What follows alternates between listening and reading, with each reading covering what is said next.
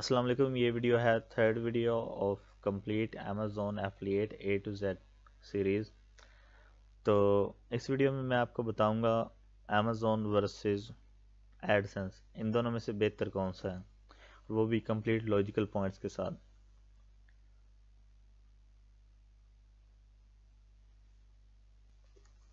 اچھا تو ایڈسنس کا جو سب سے بڑا مسئلہ ہے وہ یہ ہے کہ وہ کوئی انویلڈ کلک کر دے، دوسرے دن بین اور بین ہو گیا تو ویب سائٹ جو ہے وہ بلیک لسٹ ہو جاتی ہے اور پھر اس کے بعد دوبارہ اپیلیں کرو اور اس کے فائیو پرسینٹ چانس ہوتے ہیں دوبارہ اپروو ہونے کے۔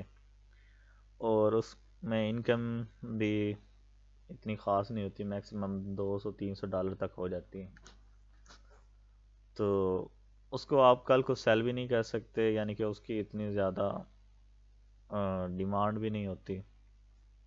اور لوگ اتنا خاص لیتے بھی نہیں ہیں اسے۔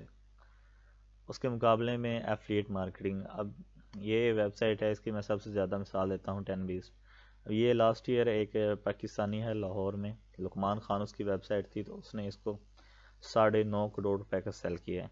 اور اس وقت اس ویب سائٹ کے صرف ایٹ پیجز تھے جب یہ ساڑھے نو کروڑ روپے کی سیل ہوئی ہے۔ تو اس نے اس کے اوپر کافی ایک سال محنت کی ہے۔ اور آرٹیکلز کو ہے، وہ فرسٹ پیج کے اوپر لے کے آیا تو اس کے بعد جو ہے اس کی پروفٹ بیس پچیس ہزار ڈالر تک چلی گئی تھی۔ تو ہماری عوام کا رجحان کافی حد تک ایڈسنس کی طرف ہے، جو کہ غلط بھی ہے۔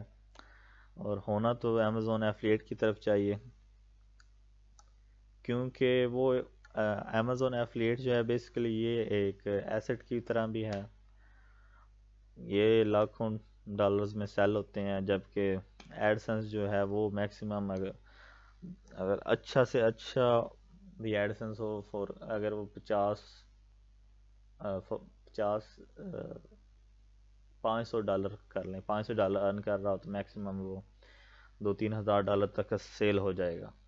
تو اور وہ بھی بڑی مشکل سے ہوتا ہے، اس کو پانچ سو ڈالر پہ بھی لے کے جانا جو ہے نا وہ بہت ہی مشکل کام ہے۔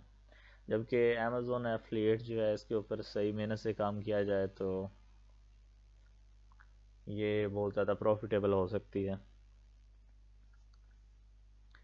اس کے لیے ایک بات یہ ہے کہ آپ کو انویسٹمنٹ کافی چاہیے ہوگی۔ ایوریج جو ہے ایک پیج پہ لگ جاتے ہیں۔ کوئی، اگر پانچ ہزار ورڈز کا ہو تو اگر اچھا رائٹر سے لکھوائیں تو لگ بھگ آٹھ، نو یا دس ہزار تک لگ جاتے ہیں۔ ایوریج دس ہزار لگ جاتے ہیں۔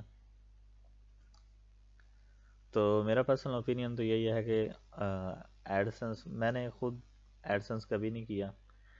بچپن میں سیل ضرور کرتا تھا، لیکن کبھی اس کے اوپر ورک نہیں کیا، کیونکہ میں نے اپنا ٹارگٹ ہمیشہ تھوڑا ایوریج لیول سے پڑھا ہی رکھا تھا، اور ایڈسنس سے مجھے کبھی امید نہیں تھی کہ وہ اتنا فل فل کر پائے گا اور امیزون ایفلیٹ مجھے اس لیے بھی اچھی لگتی ہے کہ کل کو اگر ویب سائٹ بڑی ہوگی تو اسے اچھے ریٹس میں سیل بھی کیا جا سکتا ہے۔